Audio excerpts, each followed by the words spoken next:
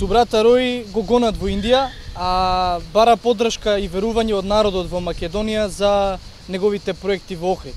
Што мислите вие? Каква поддршка вие би му дали?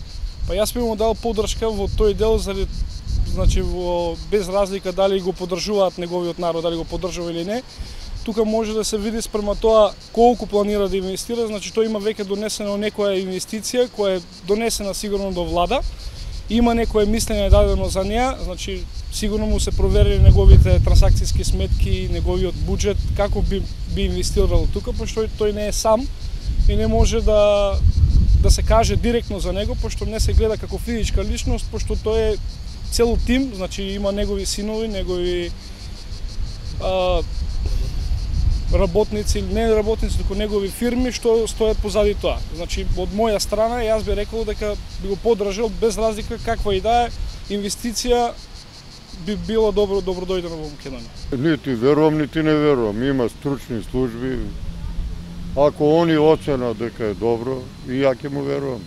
Ние не можеме како народ, немаме увид у тоа што колку е вистина, колку не е. А ја не им верувам ништо. не верувам воопшто дека тоа, тоа ќе биде нешто. Не ми се верува. Прво човекот го гонат за толку долгови. Па нели го апсил Англија, каде го фати? Па ништо ќе му направиме на собрата споменик, на слон. Вие? Подршка ќе му дадеш на собрата. Апсолутно, каква треба? Финансова ќе му дадеш. Па, треба поддршка, странска инвестиција сепак.